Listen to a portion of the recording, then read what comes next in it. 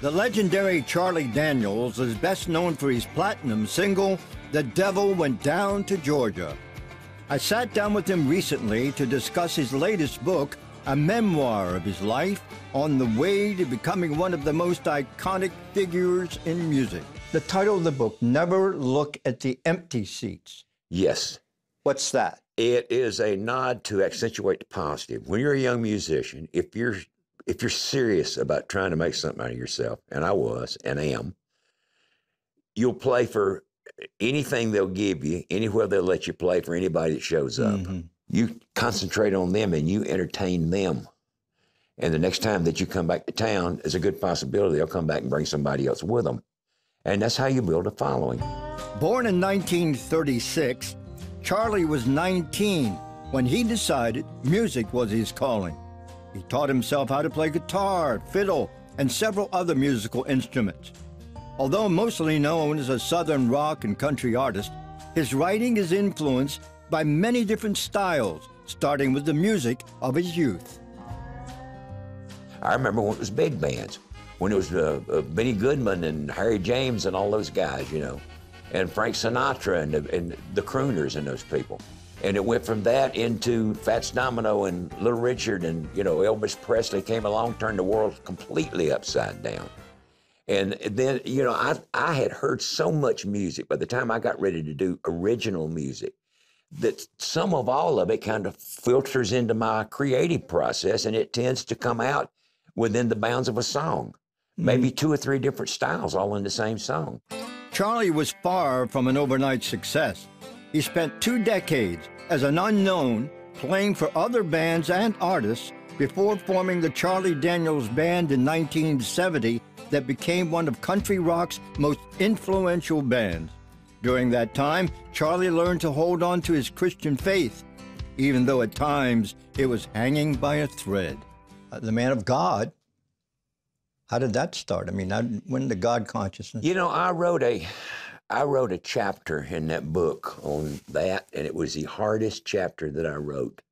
The reason being, I went through a lot of changes in my faith. I've gone through scores of, of just turning this way and turning that way and turning the other way. And I finally decided one day, I don't know what to believe. I had heard all my life Jesus died for your sins. I believed it, but I didn't know how it applied to my salvation.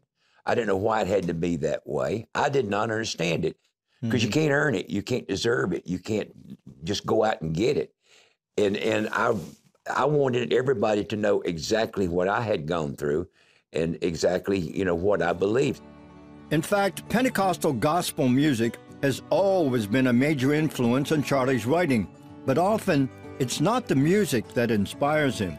He's a patriot who loves his country and respects those who serve. I'm firmly convinced that the only two things that protect America are the grace of Almighty God and the United States military. Really?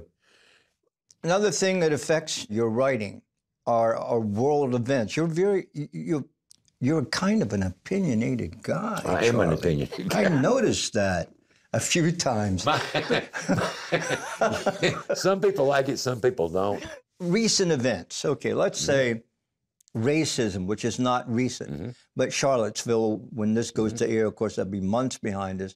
But the kinds of th- th- things like that, does that affect your thinking? It affects my heart. I hate to see this nation divided like it is right now. Yeah. It really, really bothers me. Of all the things, if I could wish one thing mm. besides that everybody was saved, yeah. my next thing would be why can't we all just get along? Yeah. Why do we have to have all this stuff? Why do we listen to all the negative things and draw our conclusions and then we get together and we can't even sit down and talk? That's stupid. I can sit down and talk to anybody if they're willing to talk to me. Charlie has won several music awards and in 2016 was honored to be inducted into the Country Music Hall of Fame. And even at 80 years old, with concerts booked well into 2018, Charlie says he is ready to keep entertaining his friends on stages across the country. Do you ever get tired of just doing that? My opportunity, my blessing that I get to get up on stage every night and entertain people with music that I have created. To steal a title from some other writers, Lennon McCartney. It's been a long and winding road. It has been. Where do you go from here? What what's in, in mind for you? Get on that bus, hit the road. I keep doing the same things that that uh, that I'm doing now. I intend to write another book. Really? The epitome is getting on stage in front of people and playing music you've created. I'm addicted to that. That's my thing. That's why I do all these other things or peripheral things around that. The honor of being able to perform. I love it. I literally love it. I love walking out on stage and, and playing music for people.